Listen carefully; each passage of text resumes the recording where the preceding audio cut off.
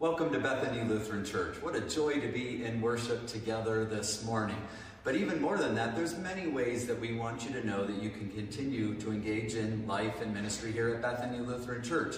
One of them is through our podcast. Don't forget about that Together for Good podcast. Wonderful ways that we continue to stay in touch with each other. What is another way, Pastor Nate? No, thank you for that plug. Uh, the podcast comes out new episodes every Tuesday, so do be sure to check that on a regular basis. And then, of course, continuing to join us for the live stream each and every Sunday morning.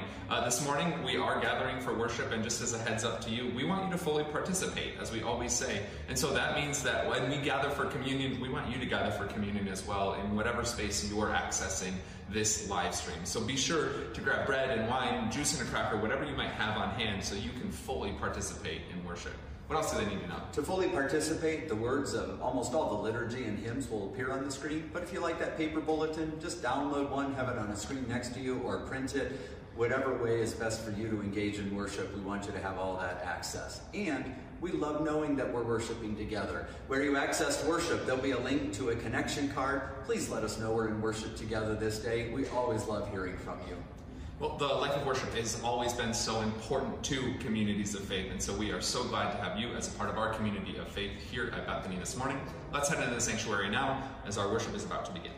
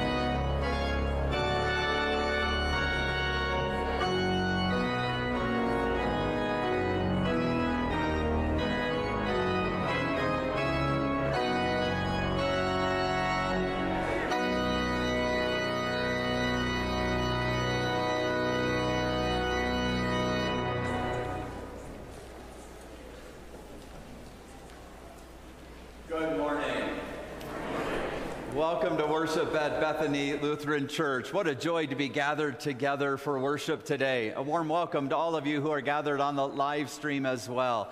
As we join together to celebrate Palm Sunday and the Sunday of the Passion. I'm Pastor Gary Sandberg, privileged to serve here alongside Pastor Nate Preisinger, Deacon Deborah Alba, and Janet Mortensen, our Director of Pastoral Care. Please know that you can call on any of us at any time. Just a couple of notes about our life together today. You'll see uh, flowers on either side of the altar. These are given by the Deutsch family in memory of Joyce. And it's at this time of year that we remind people that through their contributions, we also began the Children's Ministry Fund here at Bethany. And so all are invited to think about a contribution to that as we continue to lift up the way that children are enhanced in ministry throughout all that we do here at Bethany Lutheran Church. And there's information on that right on the front, front uh, inside page of your worship bulletin. Also, uh, to let you know of our Holy Week schedule, I'm not going to read it all for you because it's right on the back of your worship bulletin. Everything that is there. But do note that on Maundy, Thursday, we just have one service in the evening that day um, as you look at that worship schedule, and that the Easter service next Saturday is a full Easter worship service. So both Saturday night and the three on Sunday morning are all identical Easter celebrations in our world, uh, we know that, especially in the Denver area, this is gala season. Many of the agencies that Bethany continues to support have their spring galas uh, in the spring. Uh, and so we invite you just to be attentive to those. Coming up in the back of your worship bulletin, you'll see announcements about Holy Hammers, a Habitat for, for Humanity chapter, as well as Lutheran Family Services. We invite you to look those over, participate as you're able as a part of the way Bethany continues to support so many agencies throughout our time. And I should mention then, starting on page nine and through the back of your worship bulletin are all the ways that we're in ministry together here in, in this place or throughout our community. We invite you to take this home with you today so that you can um, be, a, be aware of all of the ways that we share in ministry together. As a part of our worship service today, we won't have announcements kind of going through at the offering time. It's just noted in the bulletin, but we won't be making uh, typical directions during that time. We're simply going to allow you to follow along in the worship bulletin and just let this journey to the cross drama unfold. And then, as the worship service does conclude, all are invited to a pancake breakfast. Our local scout troop has breakfast for everybody this morning, so all are invited into our fellowship hall to enjoy that time and uh, to enjoy that fellowship together as we move together into this holy week. And so, as we enter into this day and we prepare for this uh, journey to the cross drama, I invite you just to take 15 seconds of pause to allow yourself to breathe in and to breathe out, to allow peace to enter into your spirits as we prepare to worship together.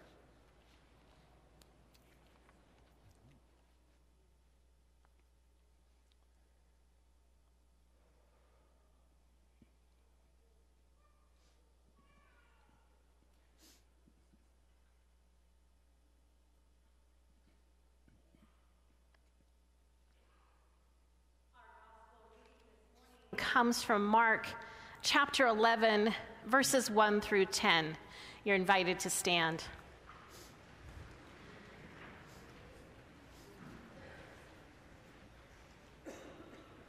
When Jesus and the disciples were approaching Jerusalem at Bethphage and Bethany, near the Mount of Olives, Jesus sent two of his disciples and said to them, Go into the village ahead of you and immediately as you enter it, you will find tied there a colt that has never been ridden.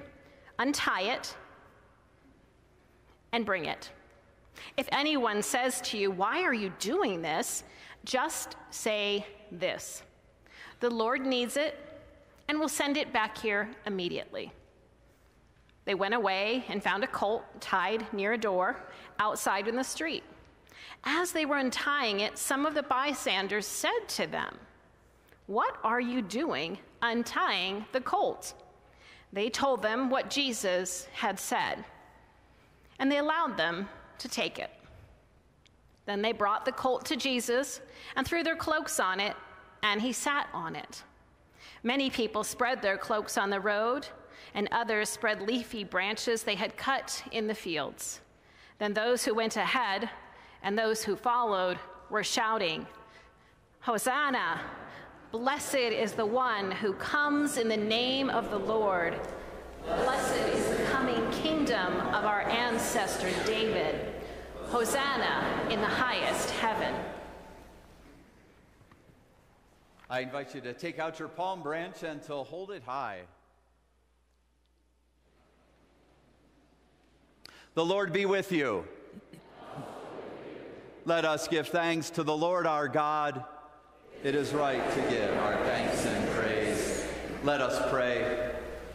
We praise and bless you, ever living God, for the acts of love by which you redeemed the world through Jesus Christ our Lord. This day he entered the holy city of Jerusalem and was proclaimed a Messiah and King by those who spread their garments and palm branches along his way. Let these branches be for us signs of his victory, and grant that we who bear them may always acclaim Jesus, Messiah by walking the way of his suffering and cross, that by dying and rising with him, we may enter into your kingdom. Through Jesus Christ, who lives and reigns with you and the Holy Spirit, one God, now and forever. Amen. Invite you to continue waving your palm branches as we sing our processional hymn.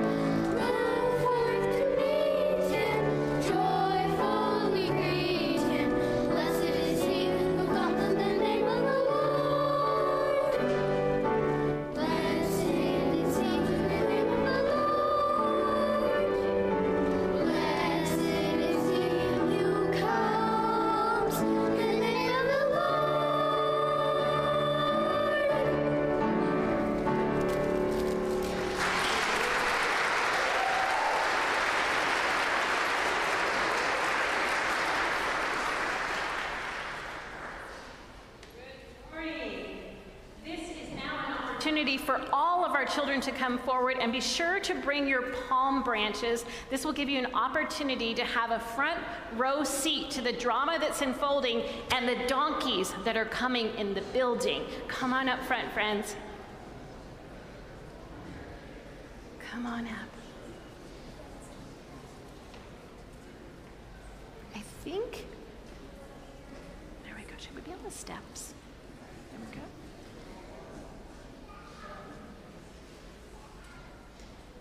I think we might want to move up towards the steps a little bit. Let's get towards the steps. We want to have room for donkeys. Yeah, come on up. Come on up, friends. Good job. Perfect. Keep on coming up front. Keep on coming up front. Here we go. Good job. Here we go.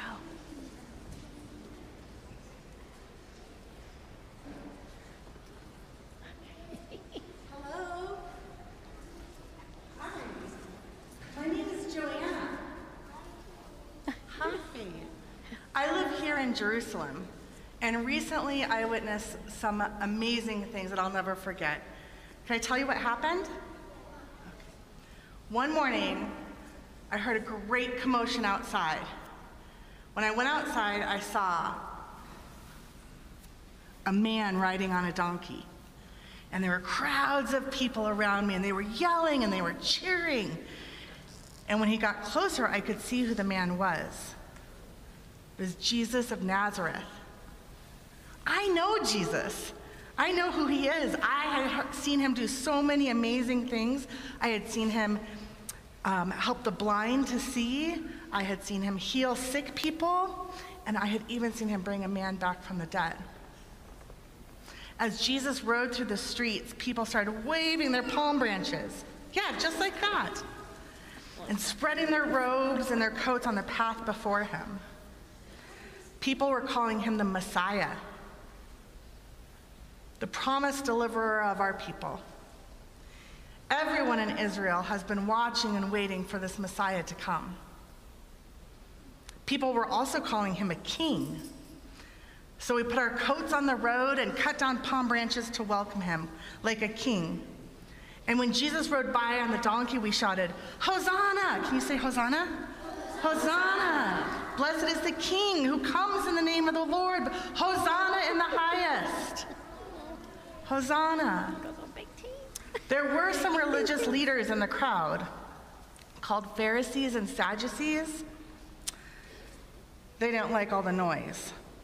And they tried to tell everyone to be quiet. But we couldn't help it. We were so excited. We had to shout our praises to Jesus. And when they asked Jesus to stop us, Jesus answered, If these people were quiet, even the rocks would cry out. And you know what? Even the children could not keep silent. I think we have some children who want to be not silent right now.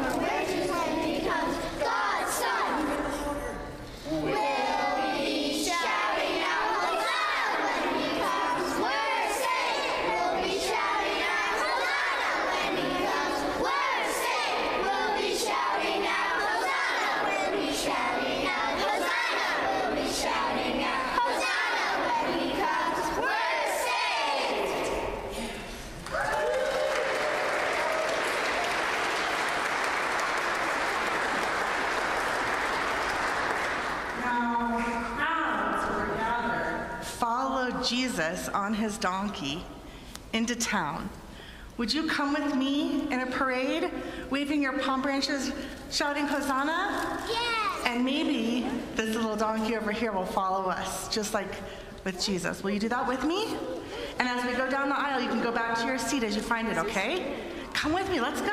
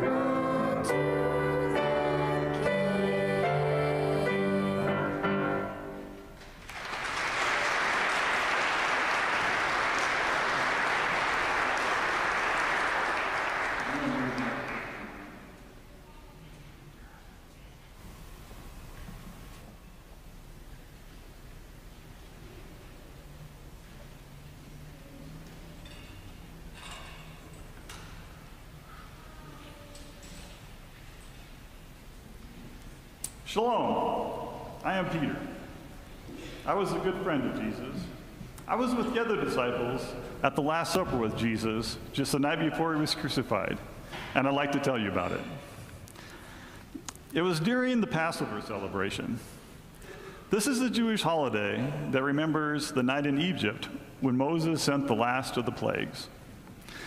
Moses was in Egypt trying to convince the Pharaoh to let the people of Israel out of slavery. So Moses sent a number of plagues against the Egyptians, the last one being an angel of death, which came over and killed the firstborn of every household. But Moses had the Jewish people take the blood of a lamb and paint it over their doorways. And that night, when the angel of death came, it passed over those houses. Thus, the name Passover. The angel of death passed them over. This is the most important Jewish holiday because it reminds us of the faithfulness of God and of the salvation and freedom that God brought to our ancestors. So that year, Jesus asked John and I to prepare the Passover meal for the other disciples. There's special foods all prepared special ways. There's breads, bitter herbs, and special wine. And everything is tied back to the Passover story. And this is how the story gets passed down through the generations. As families gather every year to celebrate Passover, they go through the story as the meal takes place.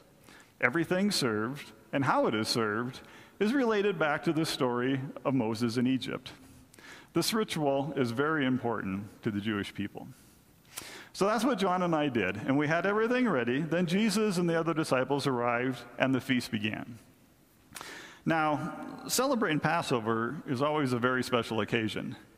But that night, Jesus did something different. He did something that I'll never forget. During the meal, he took the bread and he held it up and he broke it and said, This bread is my body, which is broken for you. Take and eat. Now, we thought that was an odd thing to say, that the bread was his body. But before we could think about it too much, he said something else that got our attention. He took the cup of wine. Thank, he gave thanks to God. He held it up and said, This cup is a new covenant in my blood, which will be poured out for you. Take and drink.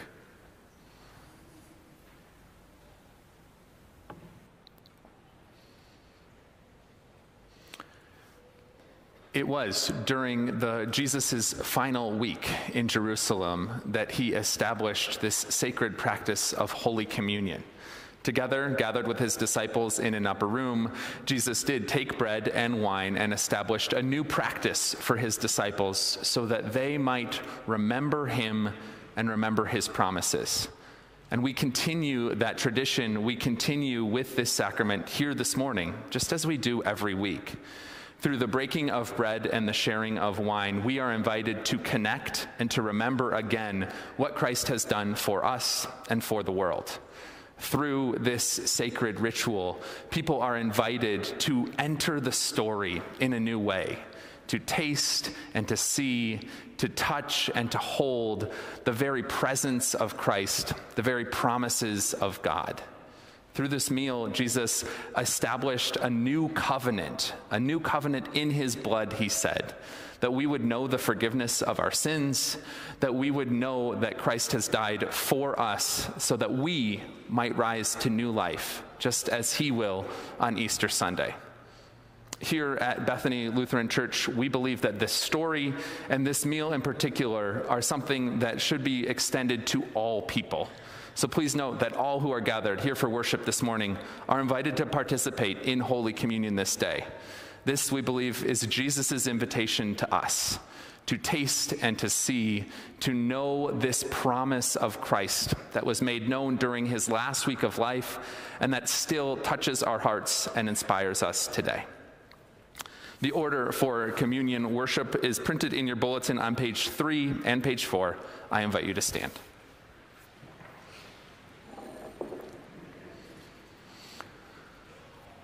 It was in the night in which he was betrayed that our Lord Jesus took bread and he gave thanks and he broke it. And he gave it to his disciples, saying, Take and eat. This is my body. It is given for you. Do this for the remembrance of me.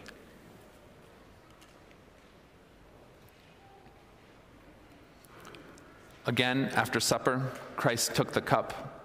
He gave thanks and he gave it for all to drink, saying, This cup is a new covenant in my blood. It is shed for you, it is shed for all people, for the forgiveness of your sin. Do this for the remembrance of me.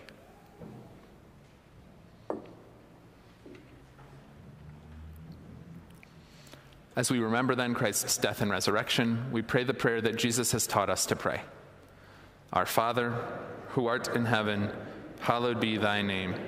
Thy kingdom come, thy will be done, on earth as it is in heaven.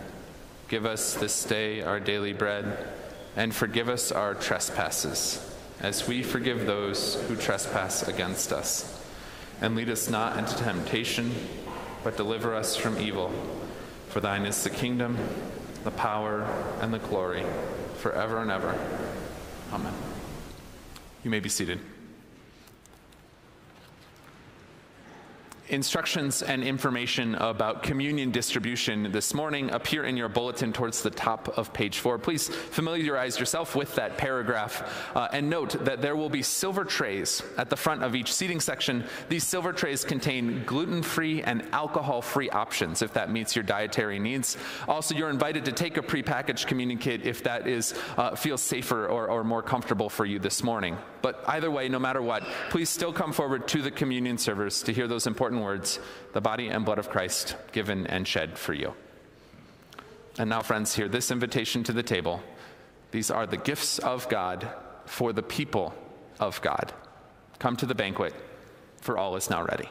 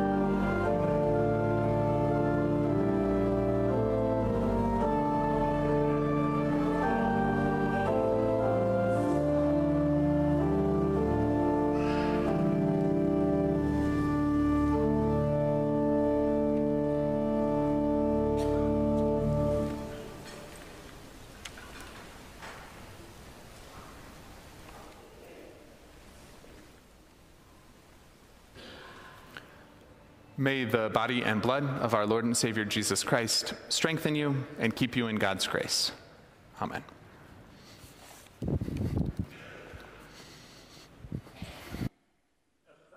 We could not understand what Jesus meant by all the things that he said that night. We were just there to celebrate Passover, as we had every year since we were little boys, and as we thought we were going to for many years into the future. But as the events of that evening and the next couple of days unfolded, we began to realize that this Passover was unlike any other. And the things that Jesus was saying were unlike any things ever said. He said one more thing during dinner as well. While we were eating, he said that one of us disciples was going to betray him. And we were shocked to hear this, and each of us in turn denied that we would do such a thing. When we asked Jesus who it was that he thought was going to betray him, Jesus took a piece of bread and he dipped it in the wine, and he said, He who dips the bread with me will betray me. That was Judas. After Judas dipped a piece of bread, he got up and, and left the upper room. We thought he had some errand to run, something to go do for Jesus, but Judas never made it back to the upper room that night. We didn't run into Judas until later that evening in the Garden of Gethsemane.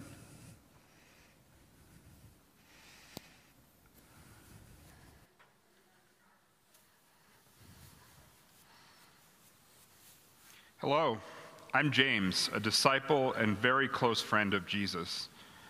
I'd like to tell you about the night he went, we went to the garden with him, and he, has, he asked Peter, John, and me to pray with him. Jesus seemed very distressed, and he needed our company, but we were so tired. I'm ashamed to say it, but we fell asleep. We were supposed to be there to support our friend and our rabbi, but instead we let him down. Jesus went on a little further by himself, and we listened and heard him say, My Father, if it be possible, let this cup pass from me. Nevertheless, not my will, but yours be done. We wondered what he meant by that. I must have nodded off a little. Since that night, I've had some time to think about Jesus' prayer. Jesus did not want to suffer or to die, but he was asking for the courage and strength to obey God and do what he knew he had to do. Suddenly, Jesus was shaking us and saying, Couldn't you watch with me for just one hour? Watch and pray that you will not be tempted. Your spirit is willing, but your flesh is weak. We told him we'd do better, but we fell asleep again. It happened three times. Finally, I woke up when a large crowd of people, armed with swords and clubs, was coming into the garden to arrest Jesus. Judas, our friend, was with them. We realized that they had been sent by the chief priests and the elders of the people. Judas was a betrayer. He had arranged a signal with them The one who I kiss is the man. Arrest him. Going to Jesus, Judas said, Greetings, Rabbi, and kissed him. Then the crowds came forward, seized Jesus, and arrested him. Now, my friend Peter tried to stop them. He took out his sword and he cut off the ear of the high priest's servant, who was named Malchus. But Jesus told him very sternly, Peter, put up your blade. And Jesus, filled with compassion, reached out and healed the man's ear. The soldiers then came forward and seized Jesus and led him away. I'm ashamed to say it, but we all ran away.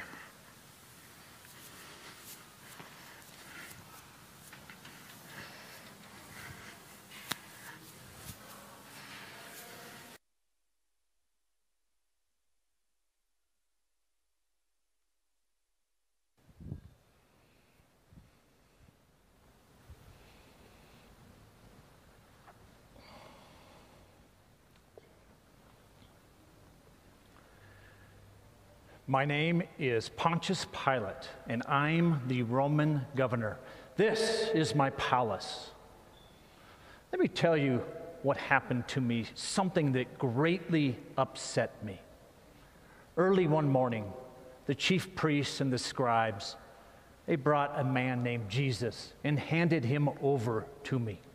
So I asked them, What charge do you bring against this man? They had no rationale, no reason. They just said he was guilty. So I said to them, Take him and judge him according to your own laws. But they said, We cannot execute, but Rome can. So I talked to Jesus directly. And I asked him, Are you the king of the Jews? Jesus said, It is as you say. Later, he said, My kingdom is not of this world. I told the Jewish leaders that I could find no crime in this man, but they all threw a fit. They said, He stirs up the people all through Judea with his teachings. He claims to be a king, he opposes the payment of taxes to Caesar, he must be put to death. When I asked Jesus if he understood what these people witnessed against him, he was silent. I was amazed at how he did not defend himself. I told them, You have presented this man as one that perverts the people. I examined him and find no fault in him. I cannot sentence him he is innocent. I will whip him and let him go. Will that satisfy you? They answered, No. So I decided to keep our annual custom of releasing a prisoner. I took Jesus outside to face the people. Another criminal, a murderer named Barabbas, was also brought out. I thought the crowds would surely call for Jesus' release, not the release of a dangerous criminal like Barabbas. But when I asked the crowds, Whom shall we release, Barabbas or Jesus? The crowd shouted, Barabbas, Barabbas. So I asked, What should we do with Jesus? Everyone shouted, Crucify him, crucify him. I could do nothing. I was afraid a riot would break out. While I was trying to decide what to do, my wife sent me a message. Don't have anything to do with that innocent man, for I have had bad dreams because of him. So, I washed my hands of his blood. I am innocent. He is their responsibility. He is out of my way.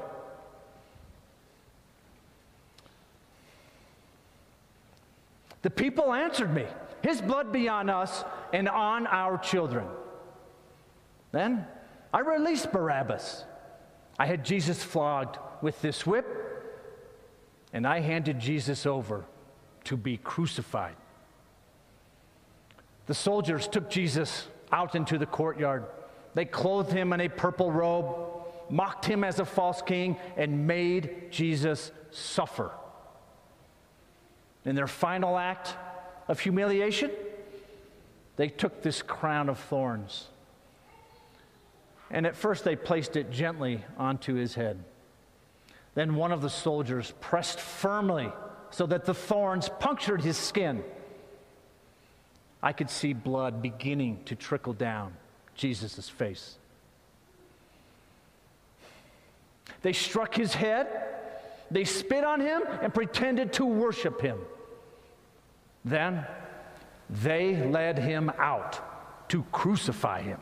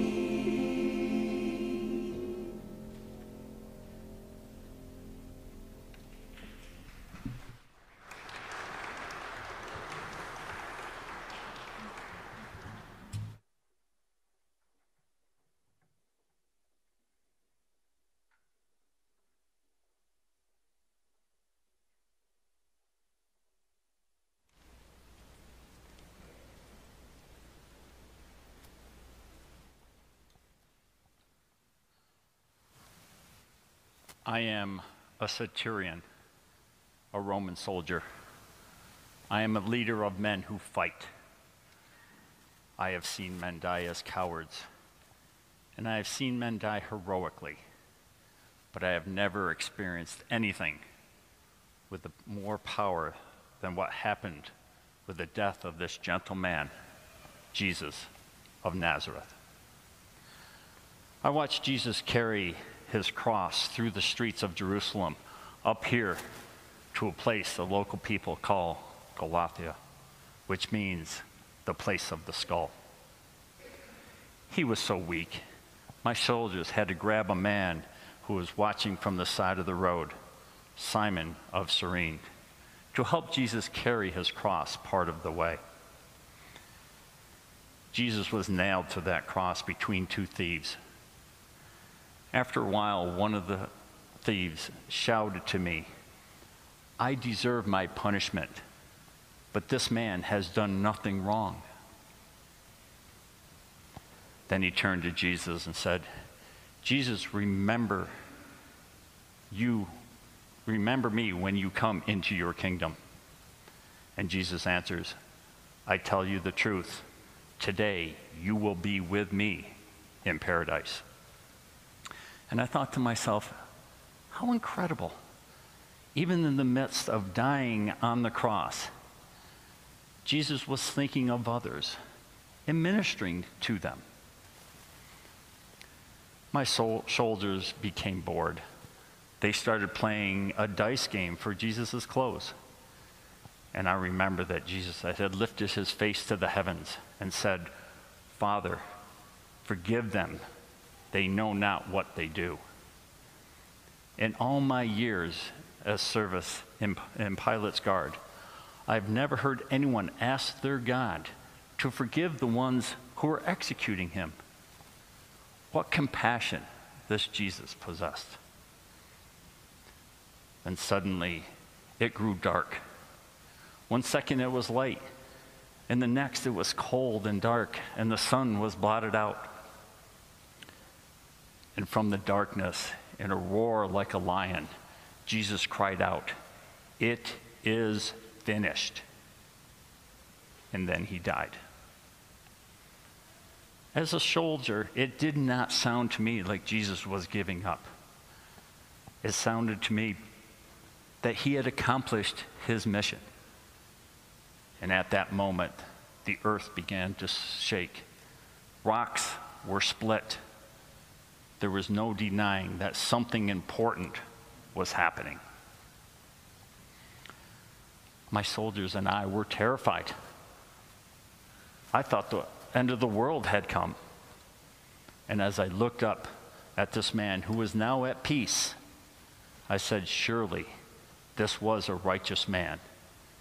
He is the Son of God.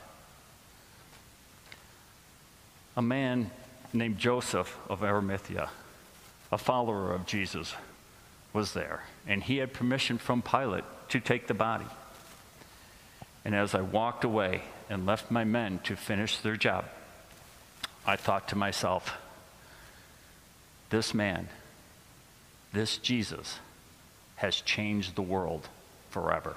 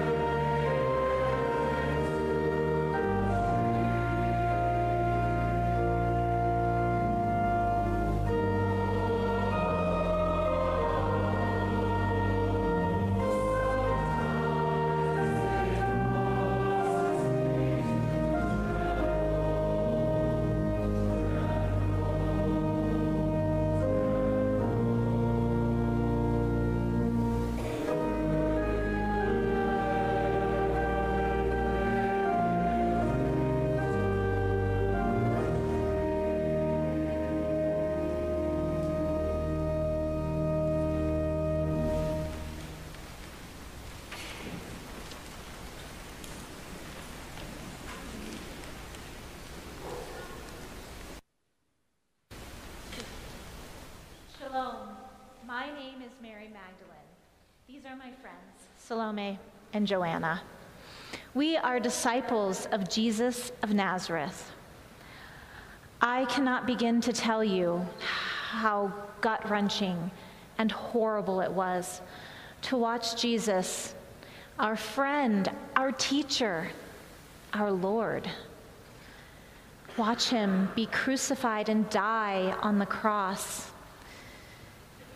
If someone close to you has died, you know how hard it is to lose someone you love, to watch Jesus be mocked and tortured.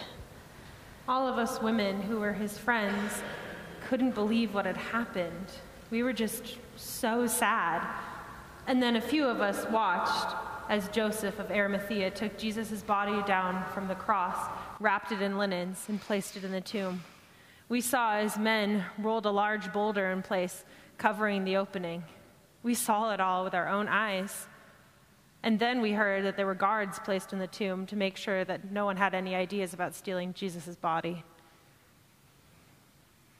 I'm certain that you have heard about what happens on the third day, but that's a story for next Sunday. I want to talk to you about what happened on the second day. Have you ever wondered what it was like for us? That night and that next day, the Sabbath day, it was so painful. The sadness, the despair, was almost too much to bear. All our dreams for the future, our hopes that life could be like Jesus said, our trust in Him, our belief in Him, all of it was crushed utterly. What was left for us to believe? Jesus, the Son of God, he was dead, just like the rest of us would be if the authorities found us. Oh, we were so scared.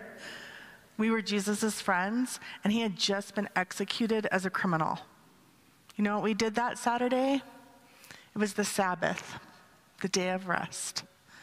We did not go to the temple. No, we did not go to the synagogue. No.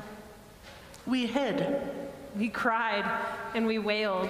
We argued with each other. Yes, can you believe that? We fought with one another. We were scared and angry. Everyone wanted to blame someone. It was the priest's fault, the scribe's fault. It was Pilate's fault. Or the crowds who shouted for Barabbas. It was their fault. It was James's fault. It was Peter and John's fault. It was even Jesus' fault. Why didn't he show them his real power? We had seen miracles before. Why not now? We wondered if we were fools to have listened to him and believed in him. We wondered what would happen next. We were so agitated that we couldn't go to sleep. As soon as we could, when it was barely light enough to see, a few of us women, we gathered some spices and set off for the tomb.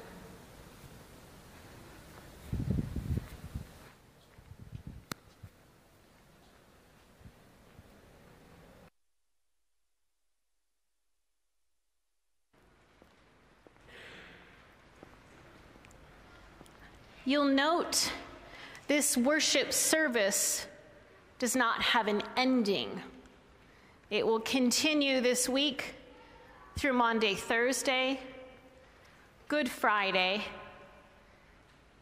and will continue as we celebrate the resurrection of Jesus this weekend. We'll have services Saturday at 5 p.m. Sunday we'll have three services at 8, 9:30, and 11 to celebrate the resurrection of Jesus.